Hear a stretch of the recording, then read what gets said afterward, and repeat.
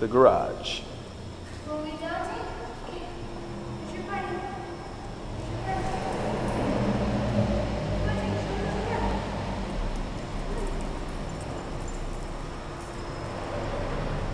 I don't. She doesn't want him to come, huh? Come on, Tinkerbell.